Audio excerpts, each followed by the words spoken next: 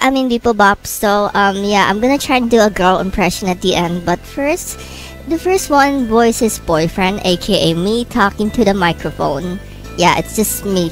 In, I guess in my style. I guess does it count as my style? I'm not sure. It's just me talking. So yeah, the second one is Daddy Dickless by Nat. Best name ever. you try to date my daughter, you're gonna go through my butt first. Literally, you're gonna go through my butt. last one is Um, okay, so this is, I guess, what girlfriend would sound like if I try to do an impression of her. Uh, I am not a girl, by the way, so, uh, yeah. This probably sounds cringe as fuck. So, oh my god, I almost actually swear. I actually almost swear. Hold on. That's how you do it.